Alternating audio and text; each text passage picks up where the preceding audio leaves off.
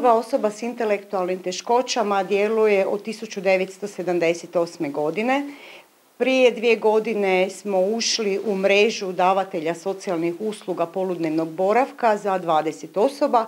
Djelujemo putem poludnevnog boravka, putem klubova i putem radionica.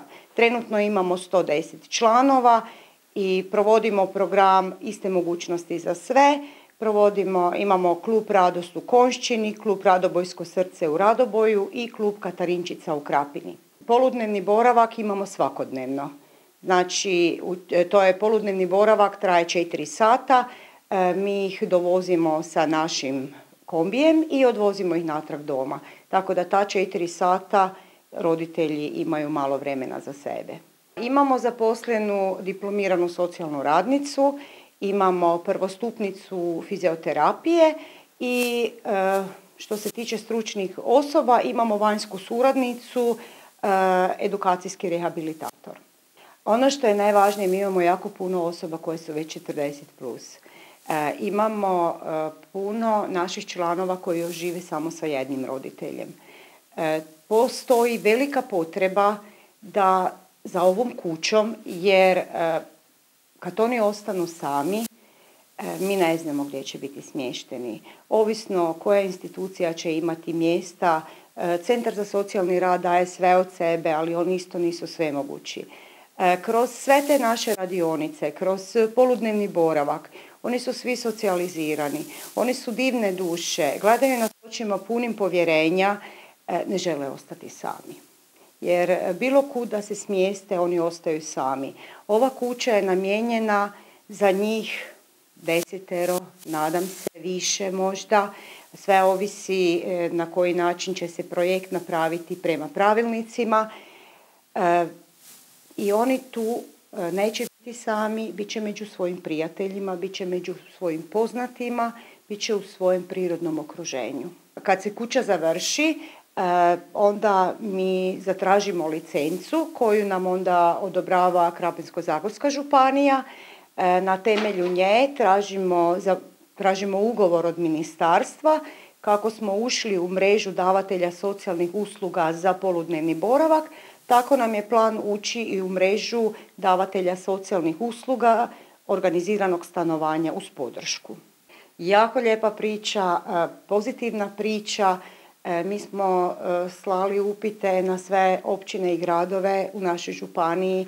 Tražili smo neki prostor, pošto kao udruga mi nemamo svojih novaca, mi djelujemo, u ono vrijeme smo još djelovali samo putem programa i projekata. I tu se je našla općina Radoboj koja je bila u tom trenutku u polovici kuće vlasnik. E, gospodin Topolovec je rekao mi vam tu polovicu možemo dati i nastojat ćemo i otkupiti drugu polovicu. I e, ja sam zatražila broj od gospođe koja je vlasnica druge polovice, nazvala, dogovorila prihvatljivu cijenu od 14.000 eura i priča se zakotrljala.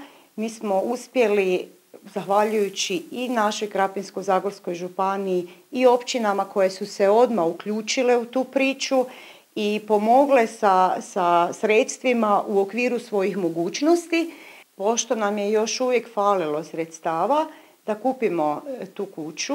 E, uključili smo i naše prijatelje putem Facebooka, novci su se skupili, kuću smo kupili, hvala Bogu, od općine Radoboj e, dobili drugu polovicu, tako da kuća je sad uknjiženi smo. Prošle godine smo u stvari ono bacili grudu, sad se je zakotrljala lavina. E, kuću smo kupili, u međuvremenu smo bili e, i u emisiji Normalan život, gospođa Ana Tomašković, hvala joj. Ona je e, kroz tu emisiju nas dovela u mnoge domove.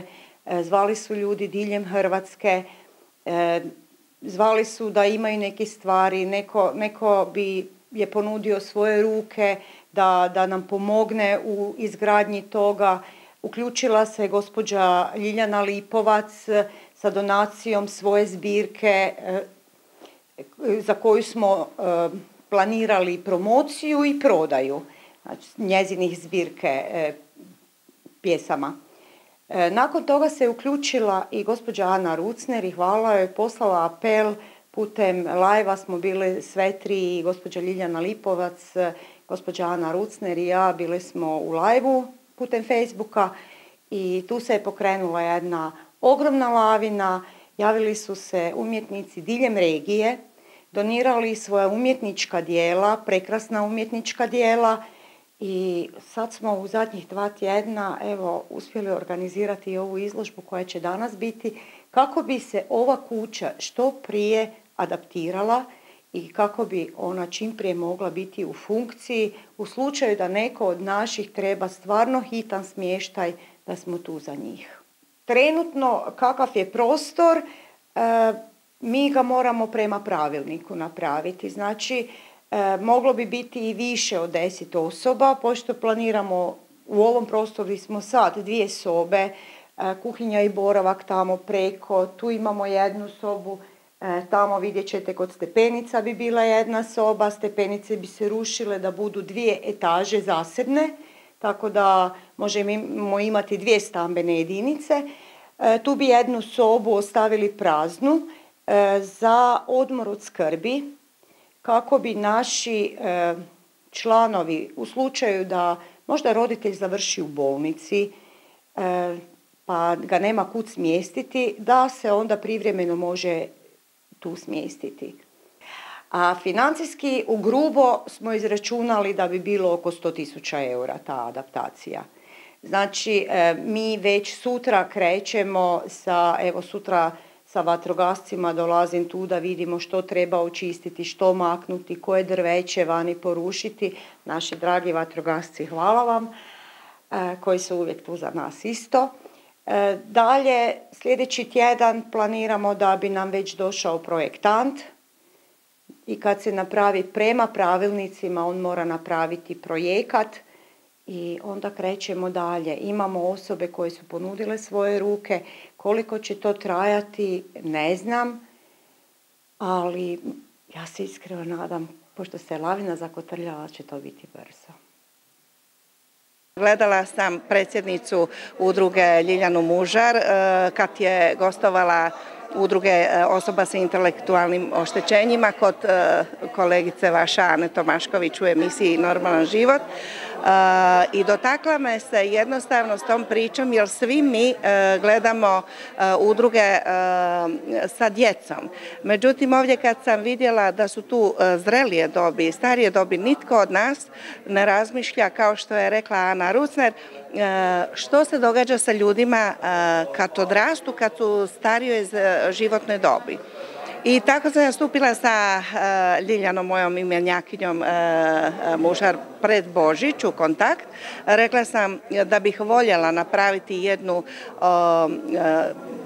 ideja mi je bila u glavi prodajnu izložbu, kako, na koji način, rekao ja mogu donirati svojih 30 zbirki da promotivno napravimo tako, na taj način i e, da vidimo kako drugo.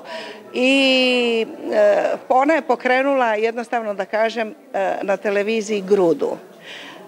Ja sam, s obzirom da sam tri godine raznim akademskim slikarima i umjetnicima u galeriji specijalne policije otvarala izložbe eh, sa svojim stihovima. Bila sam na izložbi, skupnoj izložbi u Ludvig dizajnu. Eh, nažalost, predsjednik je spriječen, nije mogao doći Željko Bedić i pitala sam ga jel bi on htio sudjelovati sa svojim fotografima i sa slikarima ispred Ludvig dizajna u ovoj humanitarnoj akciji. Odmah se odazvao.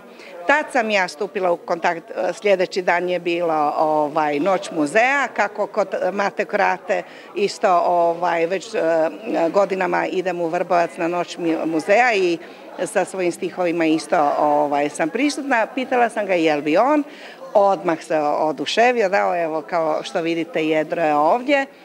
Svako živo biće ima pravo živjeti u zajednici, gdje ga ljudi vole, gdje, gdje se osjeća dobro, gdje želi ostati živjeti.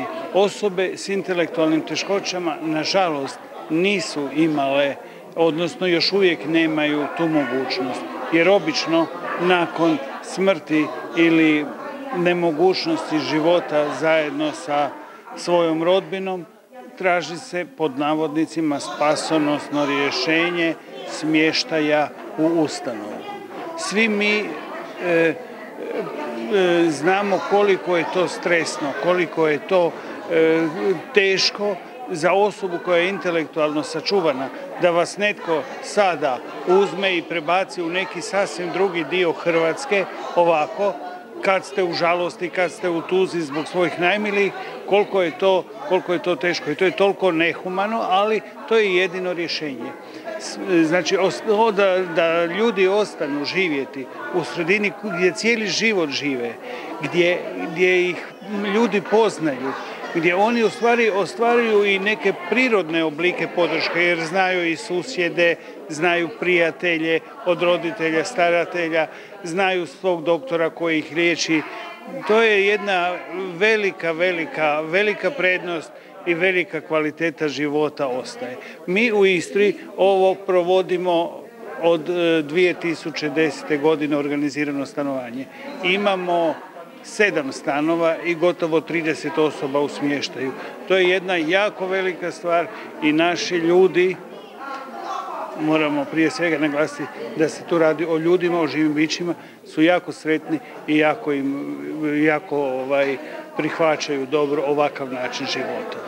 Za udrugu sam tek upoznao preko Lijanje Lipovac e, prvi put, tako da zapravo, ali ono što mi je drago što su se skupili da se pomogne, jer jako je bitno da ljudi dobiju svijest i upoznaju se sa udrugom i da se odluče pomoći svačiji doprinos jako bitan. Mi udrugu osoba sa intelektualnim teškoćama e, iz Krapine svesrdno podržavamo u svim njihovim akcijama i aktivnostima, a bilo ih je mnogo, koje su zapravo sve usmjerene na kvalitetu, bolju kvalitetu života osoba sa intelektualnim teškoćama, njihovim članicama i članovima i općenito bolju kvalitetu života u društvenoj zajednici. Ovaj projekt koji je vezan uz organizirano stanovanje izuzetno je važan i vrijedan jer e, možda organizirano stanovanje još uvijek danas za osobe sa intelektualnim teškoćama izaziva možda nekakvu sumnju, međutim e, organizirano stanovanje za osobe sa intelektualnim teškoćama, za osobe sa e, duševnim bolestima ili nekim drugim problemima je izuzetno važno jer im zapravo omogućava jedan kvalitetan, dostojanstven život kako bi zapravo one trebale živjeti. To je potpomognuto organizirano stanovanje, naravno da za to treba i infrastruktura određena, kuća je kupljena, Krapinsko-Zagorska županija je pomogla u kupnji kuće, a isto tako uključit ćemo se i u sve daljnje aktivnosti i oko opremanja i kasnije oko podrške organiziranog stanovanja koje organizira udruga sa intelektualnim teškoćama.